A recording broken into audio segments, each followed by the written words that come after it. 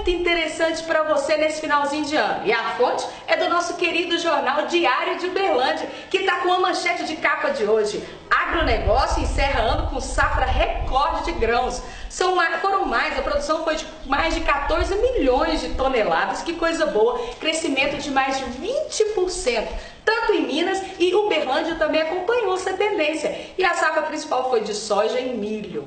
Muito bom, né? Agronegócio é vida, é negócios para nós, é emprego para nossa população e a gente fica muito feliz de ver que em 2017 nós pudemos encerrar esse ano com bons números, tanto na geração de emprego, tanto no agronegócio e a gente com toda certeza vai ter um saldo aí positivo nas vendas do comércio nesse final de ano. Então vale muito a pena, vale muito a pena acreditar no nosso país, vale muito a pena acreditar em Uberlândia e Minas Gerais. Um grande abraço, a gente fica muito feliz de dar essa notícia. Valeu e se inscreva no nosso canal. Nosso canal Minas é informação todos os dias para você. Tá aí o link abaixo para você se inscrever. Um abraço.